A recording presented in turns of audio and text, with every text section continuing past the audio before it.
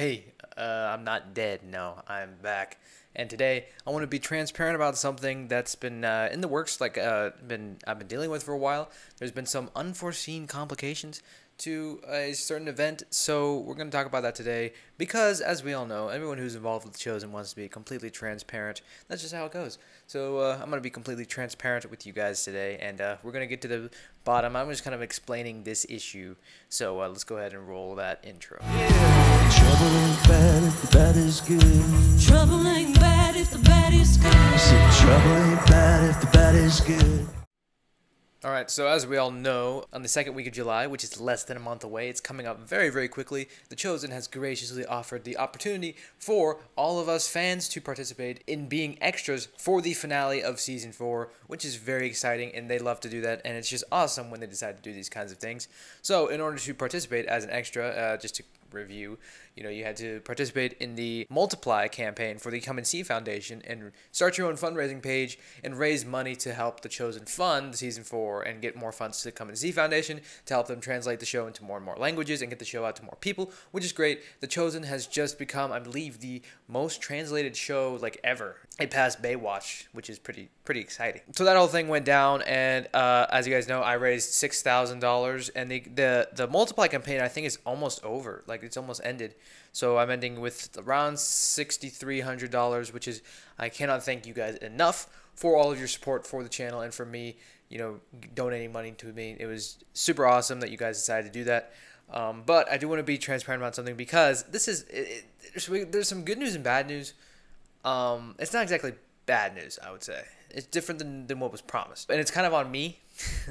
So, uh, as you guys know, which I guess apparently still some of you guys don't know, and every time I mention it, everyone gets super surprised. But I'm 16 years old. I, I don't bring it up very often, but like whenever I do, everyone's like, "Oh, that's crazy." Um, so uh, yeah, I'm 16 years old. I'm going into my junior year of high school in the fall. Now try to picture in your mind me doing homework while I'm also running this YouTube channel, and now your mind is blown. Can't believe it. Wow, crazy. So me being 16, my biggest enemy is basically my age. Okay, my second biggest enemy is my age. My biggest enemy is Brandon Snipe because he's my competition. I'm just kidding. I love Brandon. He's awesome. Just kidding. I'm totally kidding about that. That was a joke. so my biggest enemy is basically my age because uh, on the chosen multiply campaign when you signed up to make your fundraising page it did say like in bold font which i guess i have a very bad habit of skipping over all of the bold font like an incident that happened earlier that i'm not going to talk about uh, with a video that i had to delete but uh, i never read the fine print which i should probably get better about and in the fine print, it said you had to be over 18 in order to participate in this fundraising campaign. And, you know, I just am, I can get a little overconfident sometimes in my ability to break rules and still get away with things. Like I was just like, well, you know, it just says that just because I don't, I can't imagine any other kids participating in this, so it doesn't matter. It's fine. I'll just brush over it, and you know, then I ended up raising sixty three hundred dollars and being able to participate as an extra in the chosen season four. And then once you know the balls started rolling on that, and you know the more and more details started getting unveiled, uh, I, I come to find out it's not like the chosen just saying, well, you know, we just don't want to have to deal with kids, which I was thinking, I was like, they just don't want to have to deal with like toddlers or something, which is fine. Like, I, I can just be like, well, I can pass for an 18 year old because apparently my comment section thinks I'm a 30 year old man. I didn't think it was a big deal. But then, you know, again, the ball started rolling. We started getting more information. And so it's like union SAG rules state that, you know, in Utah or something, there's child labor laws that literally it's against the law for me to be on set for the amount of time that I would be on set if I was to be an extra in the season four finale.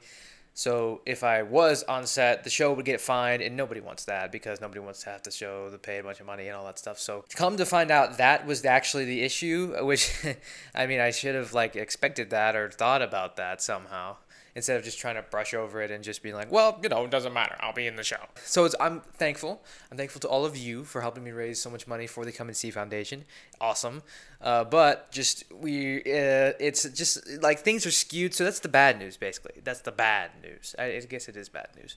I won't get to be in the show at all for season four as an extra, which is, you know, whatever. But um, so instead, I've been offered alternative opportunities. So on July 18th, I will be visiting the set, not being in the show at all, but I will be on set, which I think is better for me personally for like the YouTube channel and stuff. because then I can create more content surrounding it. I haven't quite asked about that yet. That, that'll just be better because the season four finale they're keeping very secret, although we've all kind of guessed what it's going to be. It's pretty obvious. They're really kind of keeping it secret what exactly it's going to be, so everyone who is an extra on set will not be able to like film or take pictures or anything. It's gonna be top secret, locked down. So for the YouTube channel, you know, that's not as good content wise. I know Brandon Snipe and a few other people that I know from the chosen community are going to be there, and I'm very happy for everyone who's going to be there. Um, but I think pro- I'm happy just for you know just to have a set visit because then like for channel purposes, social media purposes, much easier because it's not going to be top secret and I can't like it's not like I I'm not allowed to have any sort of filming or anything. Actually, again, maybe I haven't asked. Maybe I won't be able to do anything, and then I'll just be visiting set. But I just wanted to, to talk about that because I know that I had some people in the comments that I'd seen who were like they you know, like you guys donated money to me, to my fundraising page on behalf of Eli Hollingsworth against the current with the intention of me being in the show, being on set for four days, filming with, you know, all the other people who were going to be there. So the fact that I'm not doing that, and this has been something again that's been happening for a while. Um, it's been like I think probably a few months. This has been going on. Um, uh, so I was just re readjusting and all that stuff. So it's not necess- it's not like your money was for nothing, obviously, because it's going to the Come See Foundation and they're translating the show to more languages. So that's awesome. But I did just want to let everyone know because I didn't want to just ha- have you guys in the dark and like then all of a sudden be like, well, you know, everyone else is on set and uh, I'm not. So I just figured I'd just say it now. And you know, I haven't been keeping up with the weekly breakdowns lately. They're coming soon, I promise you. Uh, but since like we're kind of in the middle and I'm like going off, I, I probably as this video is out, I'm at summer camp right now. But I did just want to let you guys know, and this is this is just a little little little appetizer to tide you guys over until I release my next weekly breakdown. So just want to let you guys know, and I want to make sure that you guys were aware of what what exactly is going on. But do not fear because I will be on set still on July 18th. So I will be posting about that and stuff. So you guys will get content about that. I believe. I'm hopeful. but again, thank you guys so much from the bottom of my heart. I, it means the world to me that all of you guys decided to donate to my fundraising page on behalf of me to support the Come and See Foundation. It's just, it's amazing. It's incredible. $6,000 is a lot of money. I'll see you guys in my next video. Get used to it.